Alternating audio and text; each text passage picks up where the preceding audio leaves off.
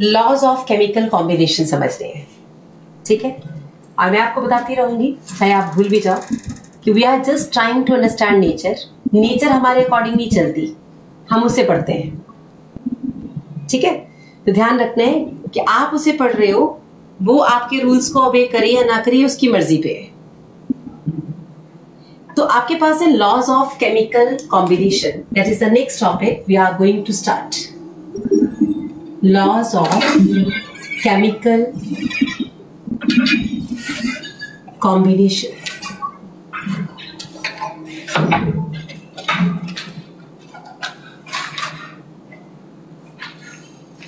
इन्हें बहुत सारी ऑब्जर्वेशन के बाद हमने कुछ केमिकल्स के बारे में समझा।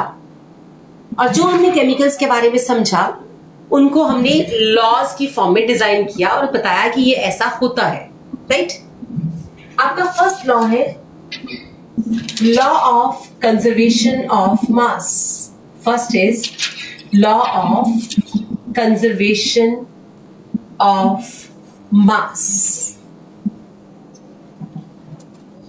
given by Lavoisier father of modern chemistry हम इसे मानते हैं father of modern chemistry.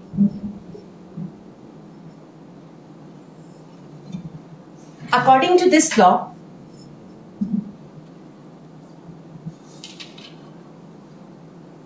mass can neither be created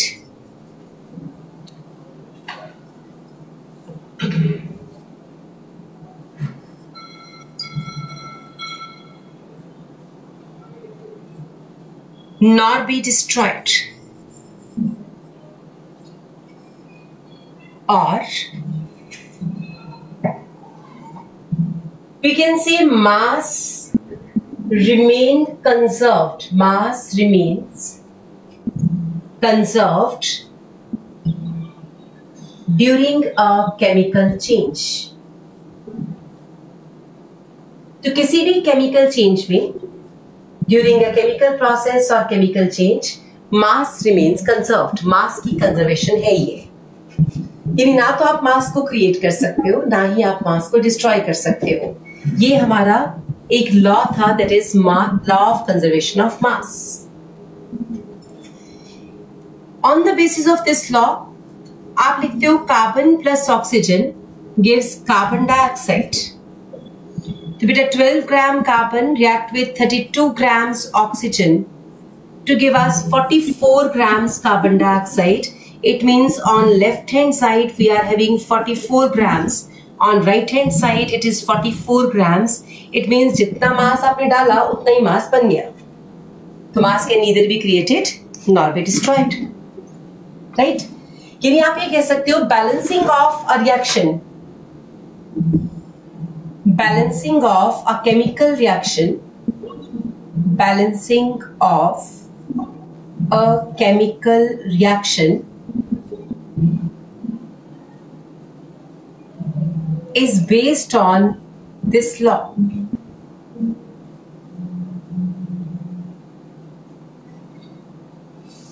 तो किसी भी रिएक्शन को जब आप बैलेंस करते हो तो बेसिकली आप ये प्रूव कर रहे हो कि law of conservation of mass is holding good law of conservation of mass है ट्रुथ है, इस बात को प्रूव करते हैं, किस बात से हम बैलेंसिंग ऑफ़ केमिकल रिएक्शन से।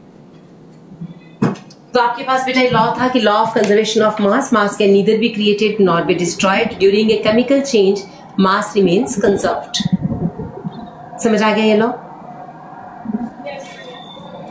अब हमें केमिकल रिएक्शन में मास की कंजर्वेशन जब समझ आई तो we can say that when we say hydrogen react with chlorine to give us HCl. अब देखो, अगर मान लो मैंने 0.2 ग्राम हाइड्रोजन लिया होता और 7.1 ग्राम क्लोरीन तो बताओ HCl कितना बनता how many grams of HCl is formed 7.3 grams. क्योंकि total mass on right hand side and left hand side must be same clear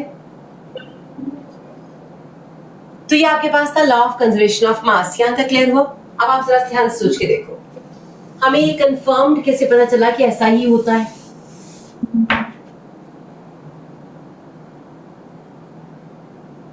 मान लेते हैं मेरे पास एक अपरेटस है।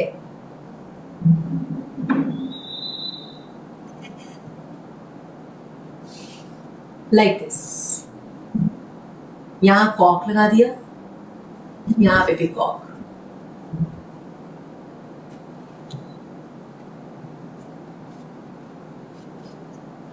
आज इस सेपरेटर्स में मैंने इस तरफ़ डाल रखा है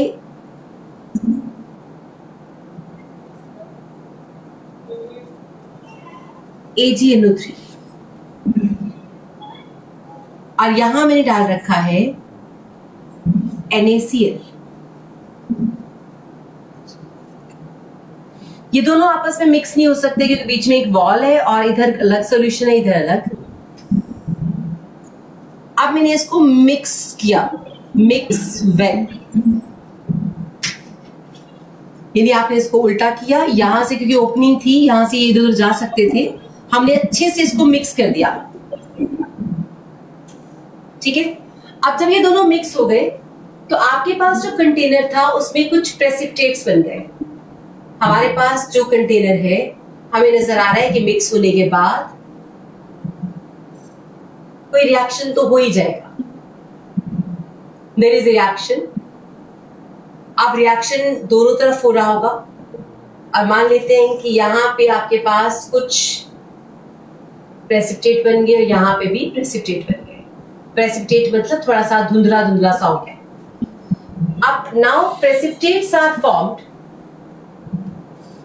it means reaction is there पक्का हो गया कि रिएक्शन तो हुई है? अगर रिएक्शन हुई है तो बताओ अगर इनिशियली इस पूरी ट्यूब का, पूरे सिस्टम का वेट W1 है तो प्रेसिपिटेट करने के बाद भी वेट अगर मुझे W1 ही मिला इसका मतलब रिएक्शन करने के बाद वेट तो नहीं बढ़ जाता। और वेट कम भी नहीं होता। तो हमें ये पता चला कि हमने इसको कॉक से बंद कर रखा था। हवा अंदर जा नहीं सकती, हवा से कोई इंटरफेरेंस नहीं है। बाहर से हम कुछ डाल नहीं रहे। हमने सिर्फ़ इन दोनों को ही मिक्स किया। इनको मिक्स करने के बाद कुछ रिएक्शन भी हो गई।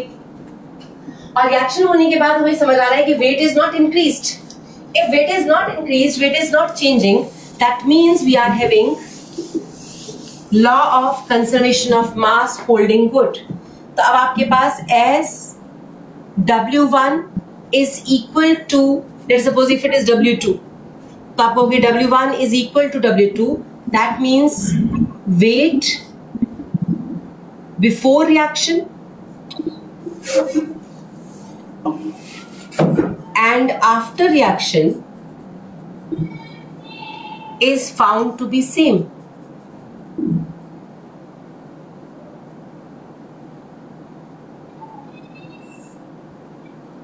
Law of conservation of mass is holding good. Clear हुआ? अभी हमें ये मास समझ ही आया था, बड़ी मुश्किल से हमने मान लिया कि केमिकल रिएक्शंस में मास कंजर्व रहता है। लेकिन बेटा तभी हमारे पास एक और टॉपिक आ गया न्यूक्लियर रिएक्शंस और फिर हमें एक नया लॉ मिल गया law of conservation of mass and energy तो आपके पास है law of conservation of mass one law is law of conservation of energy conservation of energy means energy can neither be created not be destroyed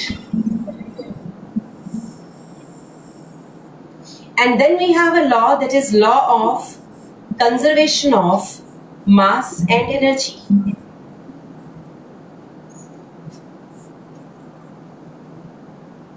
मैंने आपको आज ही बताया था कि हो सकता है बहुत कुछ हमें तब पता चले जब हम बहुत बड़े हो जाएँगे। यानी आप जब साठ साल के हो जाओ, तब आपको कोई बात समझ आए।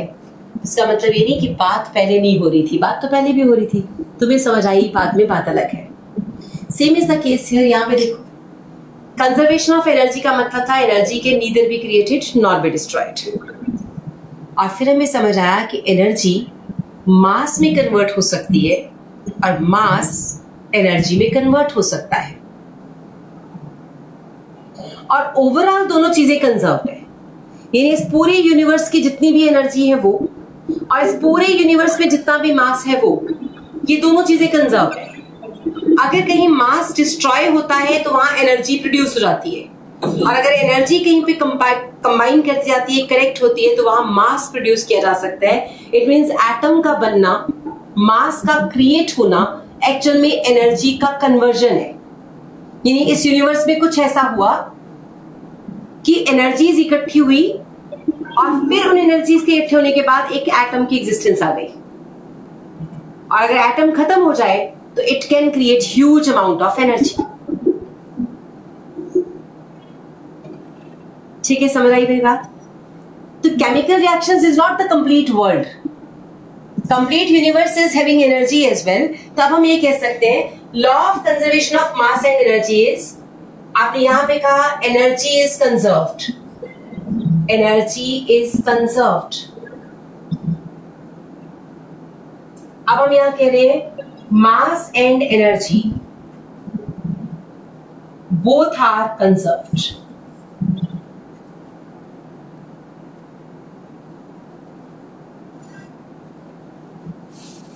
and are interconvertible.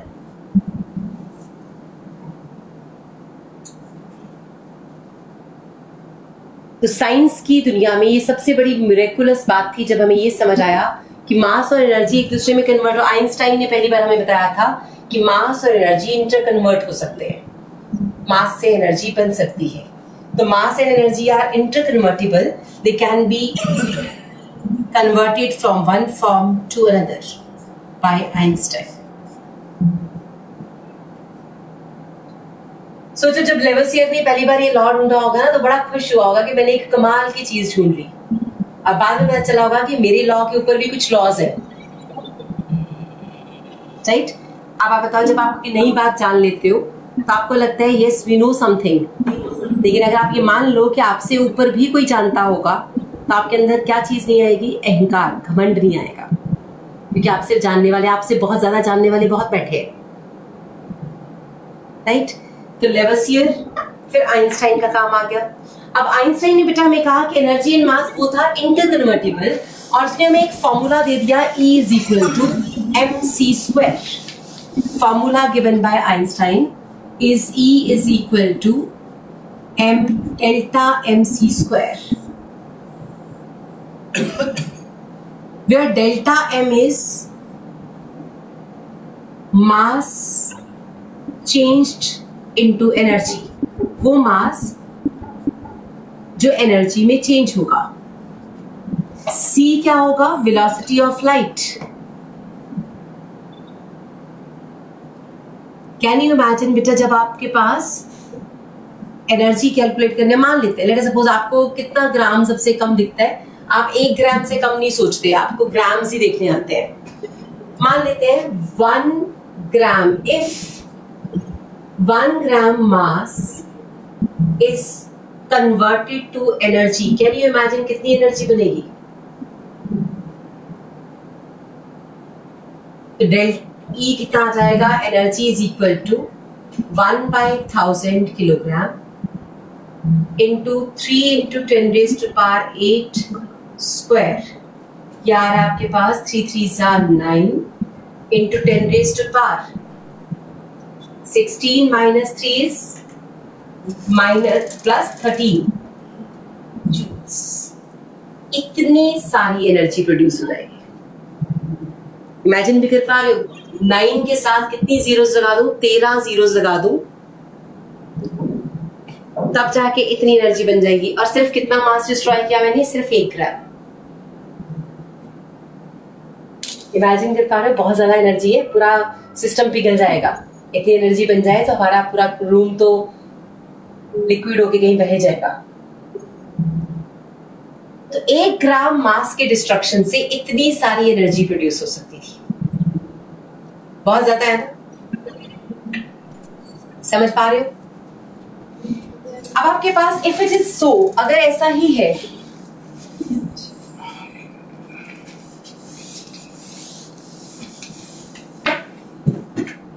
तो आइंस्टाइन की थ्योरी के अकॉर्डिंग इतनी एनर्जी तो किसी केमिकल रिएक्शन में प्रोड्यूस ही नहीं हो सकती।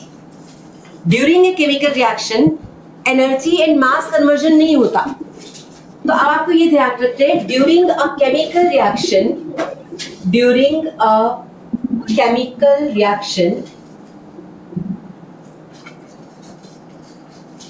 mass is not converted to energy किसी भी केमिकल रिएक्शन में मास एनर्जी में कन्वर्ट नहीं होता। But during a nuclear reaction mass is converted to energy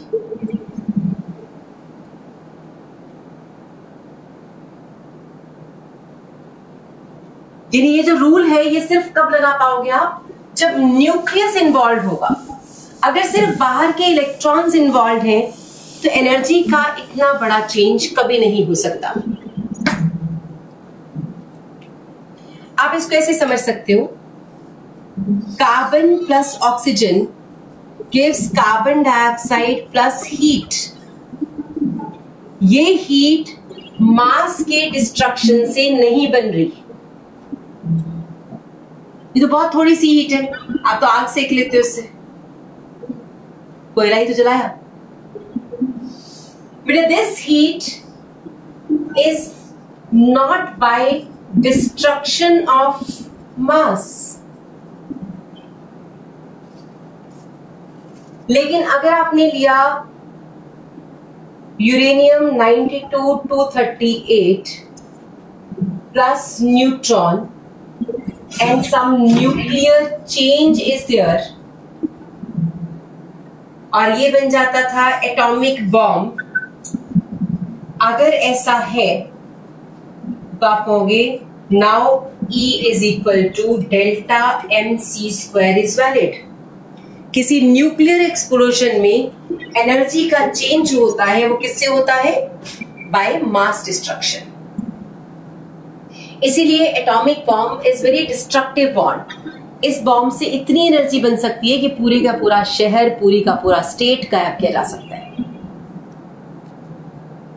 कि मास की डिस्ट्रक्शन करने जा रहे हो, अगर मास डिस्ट्रॉय हुआ तो बहुत एनर्जी प्रोड्यूस कर देगा। और उससे कितना बड़ा खतरा है कि पूरी पूरी स्टेट पूरी पूरी कंट्री खत्म हो जाएगी।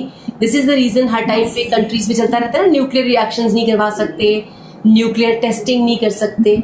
उसका रीजन है कि आप तो अपनी, जैसे आपने मन किया, आपने न्यूक्लियर रिएक्शन करवा लिया, लेकिन आप बहुत सारी कंट्रीज़ का नुकसान कर जाओगे, आपके एक एक्सपेरिमेंट से बहुत सारे लोगों की जान चली जाएगी। राइट समझ आया? अब क्वेश्चन राइजेस कि केमिकल रिएक्शंस में फिर वो एनर्जी कहाँ से आती है?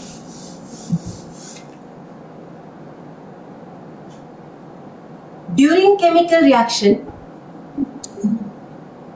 during chemical reaction, energy is produced or required because of bonds involved in it. किसी भी रिएक्शन में जो एनर्जी प्रोड्यूस होती है, वो केमिकल बॉन्ड्स की वजह से होती है। Not because of internal changes समझ आया? गॉट इट फॉर एग्ज़ाम्पल जब आप कहते हो, बेटे carbon plus oxygen CO two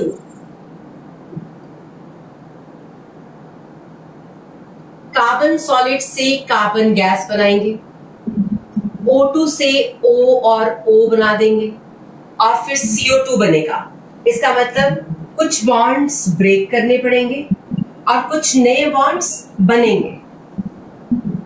तो old bonds are to be broken and new bonds are to be formed जब ये ओल्ड बॉन्ड ये टूटेंगे और नए बॉन्ड्स बनेंगे, इनके बनने में उनके टूटने में जो एनर्जी चेंजेस होते हैं that is energy of chemical reaction तो किसी भी केमिकल रिएक्शन में मास की डिस्ट्रक्शन नहीं होती। ठीक है जी समझ आ गया in which type of reaction we have destruction of mass possible nuclear reaction chemical reaction में एनर्जी प्रोड्यूस्ड और energy evolve that will be just because of the bond involve ठीक है? अगर बॉन्ड फॉर्मेशन में, अब आप देखो, अगर आपने ये लिखा है तो आपको ये समझ आ रहा है कि यहाँ पे बॉन्ड डिसोसिएशन एनर्जी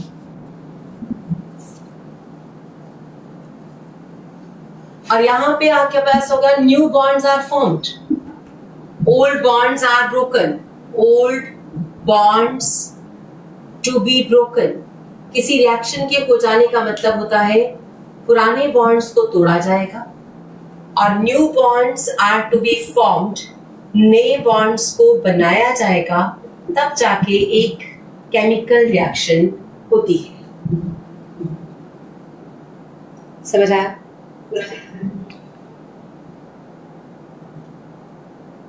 तो ये आपके पास था कि केमिकल रिएक्शंस के होने के लिए हमें क्या चाहिए था। इज़ इट क्लियर समझ आ गया दोनों लॉज पहले पढ़ लो। हमने किया है law of conservation of mass and second we have done is law of conservation of mass and energy conservation of mass means mass can neither be created nor destroyed. Conservation of mass and energy is mass and energy both are conserved. किसी chemical reaction में mass हमेशा conserve रहता है, ये बिल्कुल सच है। लेकिन ऐसा नहीं है कि दुनिया में ही मास कंजर्व है, ये गलत है। फिर से देख लो, किसी केमिकल रिएक्शन में मास कंजर्व रहता है, ये बिल्कुल ठीक है। लेकिन पूरे यूनिवर्स में मास कंजर्व रहेगा, ये गलत है। क्योंकि मास एनर्जी में कन्वर्ट हो सकता है और एनर्जी मास में कन्वर्ट हो सकती है। ठीक है? ये समझ आ गया?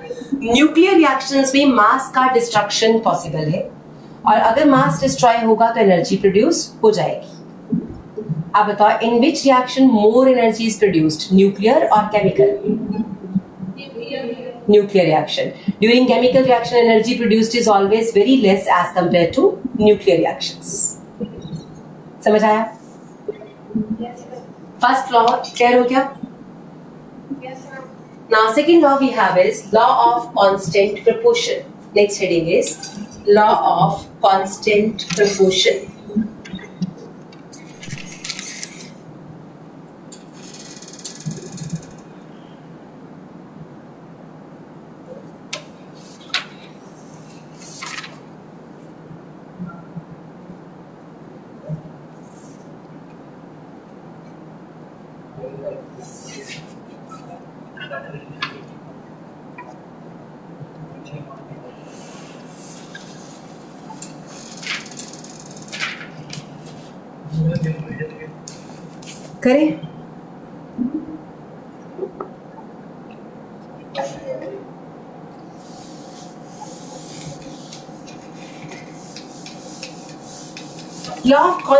proportion अब आप देखो यार ध्यान से ये बात समझ पा रहे हो कि लेवसियर ने गलत नहीं कहा था। पर लेवसियर की स्टेटमेंट 100 परसेंट सब जगह वैलिड नहीं थी। उसकी स्टेटमेंट सिर्फ़ किस पे वैलिड थी? केमिकल रिएक्शंस पे। क्लियर है? अब हमें करना है लॉ ऑफ़ कांस्टेंट प्रोपोर्शन यानी नेक्स्ट लॉ आपके पास है। लॉ ऑफ़ कांस्टेंट प्रोपोर्शन और definite proportion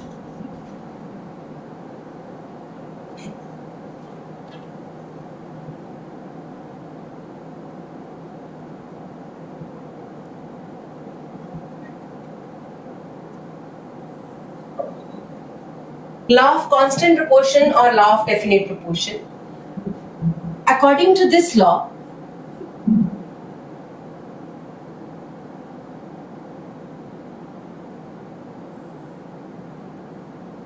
in a compound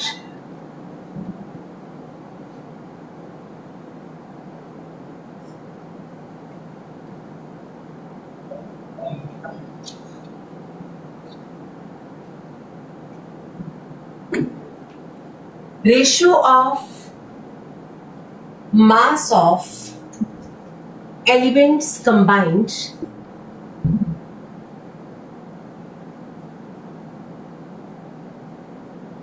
is always fixed.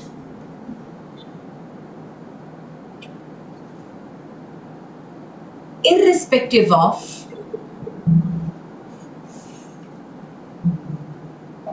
source of that compound.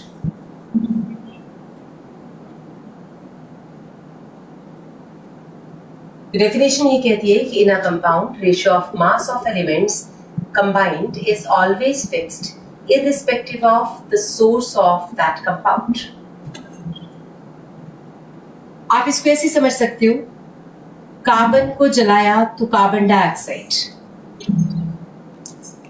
Methane को जलाएँगे तो भी कार्बन डाइऑक्साइड हमने ब्रीदिंग किया, सांस लिया ब्रीदिंग प्रोसेस है तो भी कार्बन डाइऑक्साइड तो बनेगा। अगर कैल्शियम कार्बोनेट को हीट कर दें तो आपने लिखा था calcium oxide plus carbon dioxide तो कार्बन डाइऑक्साइड तो बहुत जगह से बनती है। ठीक है ना? पेट्रोल जलेगा तो कार्बन डाइऑक्साइड आपके पास डीजल चलेगा तो कार्बन डाइऑक्साइड अब अगर कार्बन डाइऑक्साइड का सोर्स कोई भी हो, लेकिन अगर कार्बन डाइऑक्साइड बना तो कार्बन डाइऑक्साइड का मतलब है 12 gram carbon is combining with 32 grams of oxygen source चाहे कुछ भी हो तो बताओ रेशियो ऑफ़ मास क्या आ जाएगी? थ्री रेशियो एट वो कहते हैं कि कार्बन डाइऑक्साइड दुनिया के किसी भी कोने से उठा लो, कहीं से भी ले आओ। वहाँ ratio of mass of carbon and oxygen combined हमेशा फिक्स्ड होगा। अगर वो कार्बन डाइऑक्साइड है तो पक्की बात है तीन ग्राम कार्बन कितने ग्राम हाइड्रोजन ऑक्सीजन से रिएक्ट करेगा? एट ग्राम ऑक्सीजन से कंबाइन करेगा। ठीक है? आप बताओ, अगर मैं आपसे बोलूँ कि इफ़ इट इज़ वाटर तो पानी तो बहुत सारी जगह से मिलता है। It can be lake water it can be pond water it can be breathing process में सांस लिया तो वाटर निकला। या फिर आप कह सकते हो water is copper sulphate five H two को हीट कर दिया तो वाटर बना। तो पानी बनाने के तो बहुत सारे तरीके हो सकते हैं। Hydrogen plus oxygen is water अगर वाटर का कोई भी सोर्स हो ratio of hydrogen to oxygen क्या रहेगी? Two ratio sixteen that means 1 ratio 8 this is a fixed ratio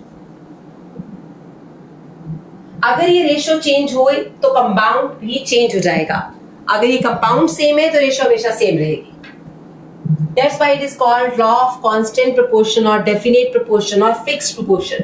Fixed ratio by weight is there. In a compound, fixed proportion of by weight, fixed proportion by mass is there.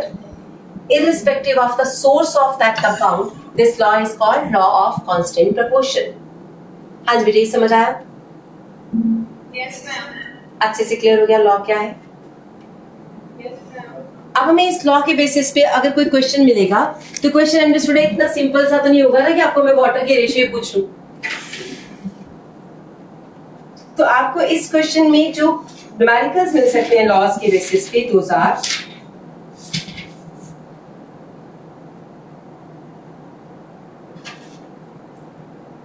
मैं आपसे कहूँगी कि, कि एक source में एक question मैंने आपको दिया।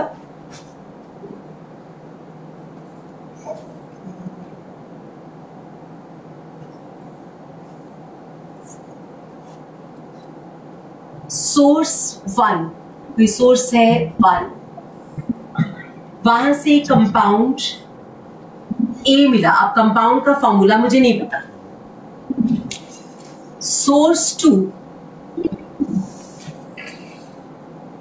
यहाँ से कंपाउंड बी मिला।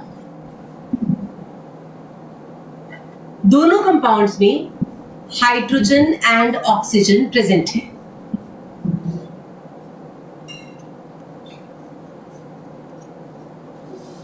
इफ़ इट इज़ 1.01 ग्राम तो ये आ रहा है 8.08 gram and this is 0.1 gram, and this is 0.8 gram. तो आप बताओ, ये दोनों कंपाउंड्स सेम है या नहीं? आप कहोगे हाइड्रोजन रेशियो ऑक्सीजन यहाँ पे कितना आ रहा है? 1.01 by 8.08 that means one ratio eight यहाँ पे भी हाइड्रोजन टू ऑक्सीजन रेशियो कितनी आ जाएगी? One by eight if ratio in these two is going to be same तो आपकी ऑब्जर्वेशन कह रही है कि compound A and compound B both are same ठीक है? तो अब आप ये कह सकते हो सोर्स वन हो या source two compound A and B are same ये दोनों कंपाउंड्स बिल्कुल सेम कंपाउंड्स हैं। क्योंकि ratio of fix proportion by weight आ रहा है, दोनों की रेशियो सेम आ रही है। इसका हाइड्रोजन रेशियो ऑक्सीजन सेम है तो कंपाउंड भी सेम ही होंगे। और अभी मैंने आपको समझाया था कि वन इज़ टू एट किसकी रेशियो है? वाटर यदि ये जो कंपाउंड है, ये भी वाटर है, और ये जो कंपाउंड है, ये भी वाटर है। ठीक है? क्योंकि आप एक्सपेरिमेंट करते हो तो एक्सपेरिमेंट में बेटा हम खुद कैलकुलेट करके तो ऐसा नहीं करते ना कि 10 ग्राम हाइड्रोजन डालो और इतने ग्राम ही ऑक्सीजन डालेगा, ऐसा तो हो ही नहीं सकता। किसी भी प्रोसेस में एग्जैक्ट वेइंग तो आप कर ही नहीं पाते। तो आप तो एक्सपेरिमेंट से कुछ चीज़ें बनाते हो और प्रपोर्शन आप निकालते हो। आप बताओ, क्या आप समझ पा रहे हो? आपको मैंने करा रखा है। Percentage of hydrogen in this compound निकाल सकते हो ना? परसेंटेज कॉम्पोजिशन से। One by eight into a gram by W add ऐसे परसेंटेज ऑफ़ ऑक्सीजन भी निकाल सकते हो। अगर दोनों की रेशियो निकाल सकते हो, ऐसे इधर भी परसेंटेज कॉम्पोजिशन एंड रेशियो अगर दोनों की रेशियो सेम है तो मतलब दोनों का एम्पिरिकल फॉर्मूला सेम है। और अगर एम्पेरिकल फॉर्मूला सेम है तो मॉलिकुलर फॉर्मूला भी सेम हो जाएगा। अगर मास भी सेम हो तो। राइट तो एक्चुअल में ये लॉ एक एक्सपेरिमेंटल ऑब्जर्वेशन के बाद बनाए गए हैं। Second law is it clear अब इस लॉ की भी कुछ लिमिटेशंस थी. There are some limitation of this law again we have limitation of this law called law of constant proportion limitation are first limitation is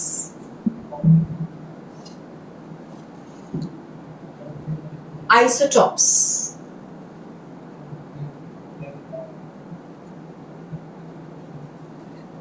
बेटा, अगर आपके पास एक वाटर मॉलिक्यूल है, और दूसरा भी वाटर ही है but here hydrogen is one but here hydrogen is two है तो दोनों ही वाटर अगर ये हाइड्रोजन वन यानी प्रोटियम है दिस इज़ प्रोटियम और ये हाइड्रोजन ड्यूटीरियम है तो कैन यू थिंक ऑफ़ यहाँ रेशियो आ जाएगी टू रेशियो सिक्सटीन और यहाँ तो आ जाएगी four ratio sixteen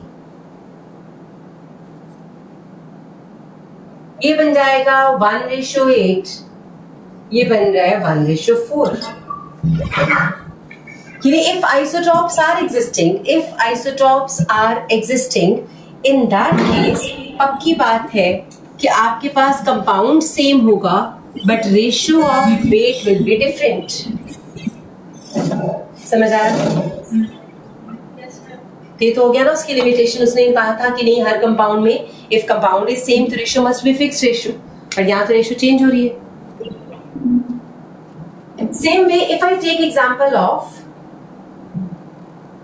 carbon dioxide with carbon 12 and carbon dioxide with carbon 14 दोनों ही कार्बन डाइऑक्साइड है बट यहाँ रेशियो आ जाएगी बेटे 12 रेशियो 32 और यहाँ रेशियो आ जाएगी फोर्टीन 14 रेशियो 32 बोलो जी समझ आया? And second limitation we have is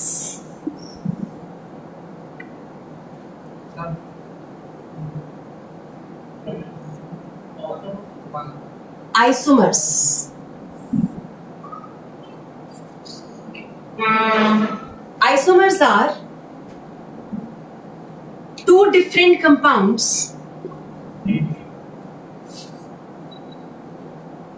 having same molecular formula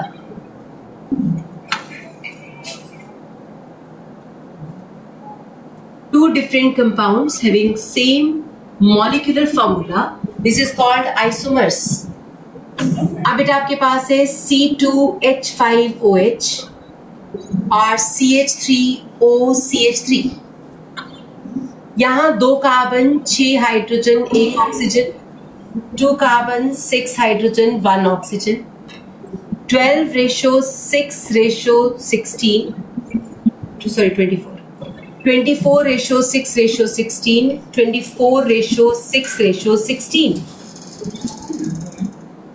right अब आप बताओ, यहाँ ratio of masses is going to be same ये रेशो सेम आ जाएगी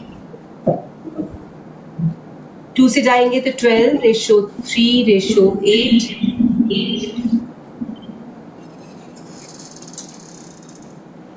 Now in these two different compounds, ratio is coming to be same. हमने कहा था same compound can have fixed ratio. यहाँ तो दो different compounds की ratio भी same आ रही है तो आपकी डेफिनेशन खराब हो गई ना, आपने तो कहा था a compound irrespective of the source is going to have a fix ratio by weight a compound यहाँ तो more than one compound is going to have the same ratio right तब आप ये कह सकते हो two different compound same molecular formula called isomers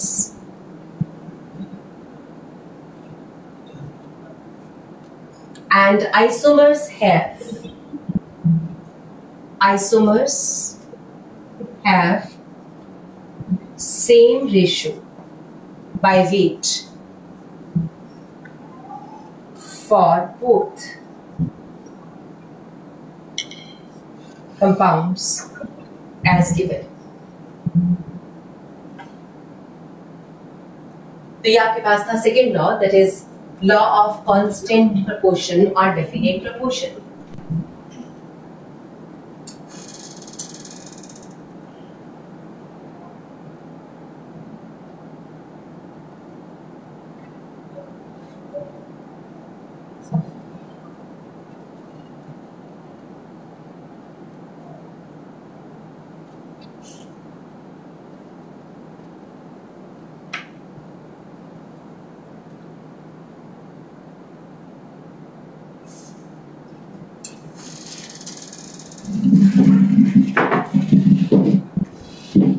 समझ आ गई दोनों लॉस तीन लॉस हो गए है ना? क्लियर हुआ? यस और no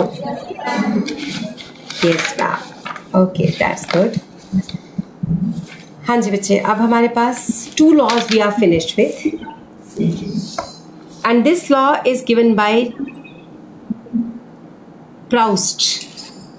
This law, that is definite proportion, is given by J. Proust.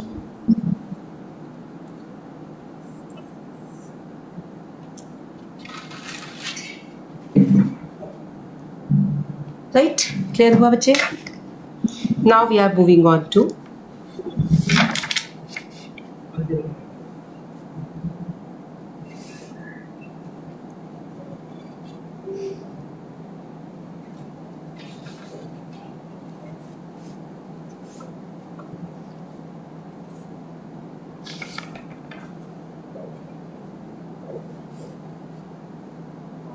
third law we have the fourth law we are going to start is law of multiple proportion करें next law Yes, sir. लिखो जी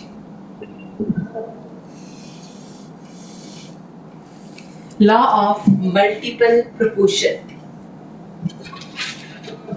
third law the next law we are going to start is multiple proportion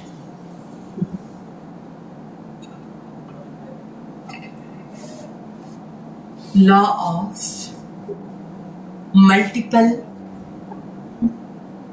proportion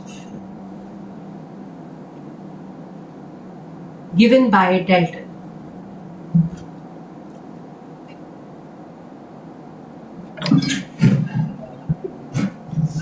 Write down. According to this law, according to this law, when two elements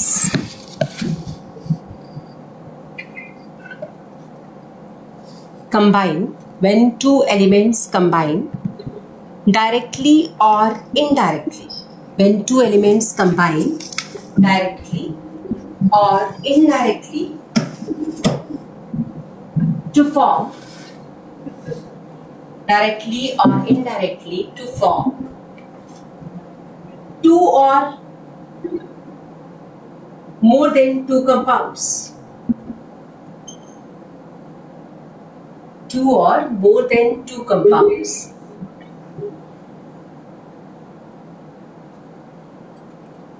Then the ratio of different weights of one element then the ratio of different weights of one element ratio of different weights of one element that combine with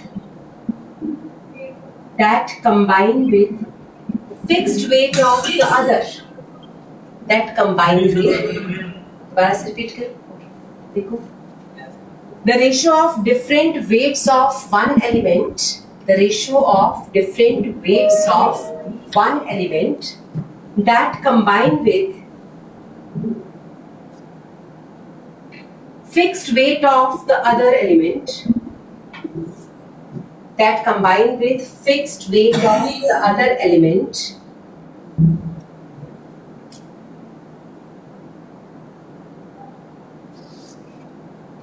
bear a simple whole number ratio. Bear a simple whole number ratio.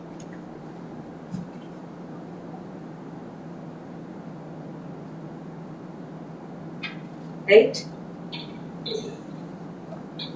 फिर से पढ़ लो एक बार statement आपको statement ये कह रहे हैं if two और टू एलिमेंट्स कंबाइन टूगेदर दो एलिमेंट्स कंबाइन किए टू फॉर्म टू और मोर देन टू यानी एक से ज़्यादा कंपाउंड्स बनाने पड़ेंगे हमें right right?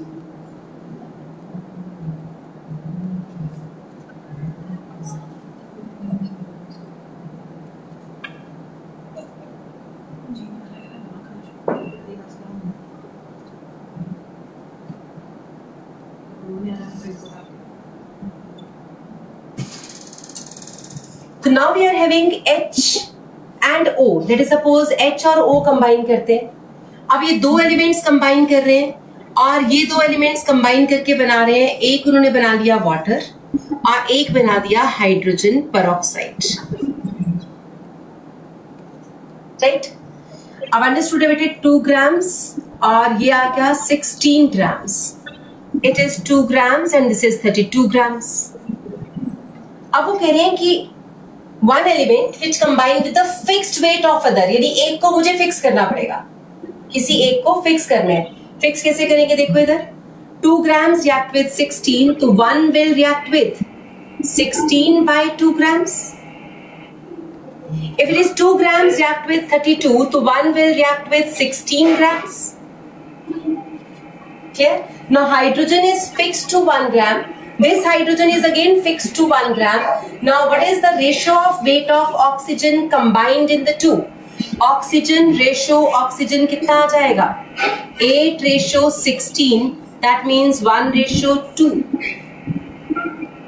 So according to this law we can say that if fixed weight of one is combining with the other so other element is going to have a simple whole number ratio.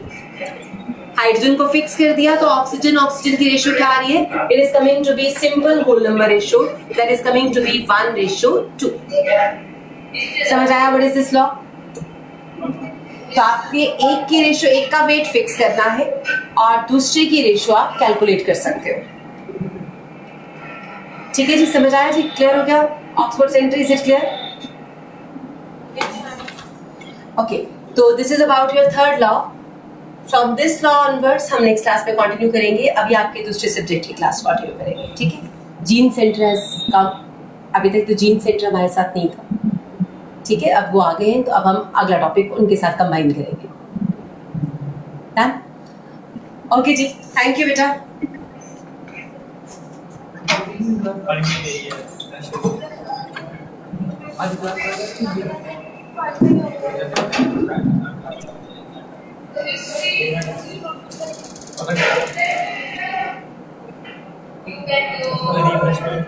पानी पिएगी पानी P भांटा होगा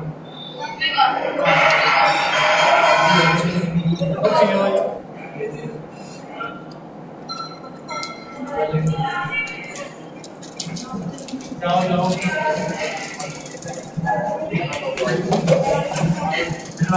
of course and आपकी पाँच minute की break है पाँच minute की ब्रेक ले लो, उसके बाद वापस आओ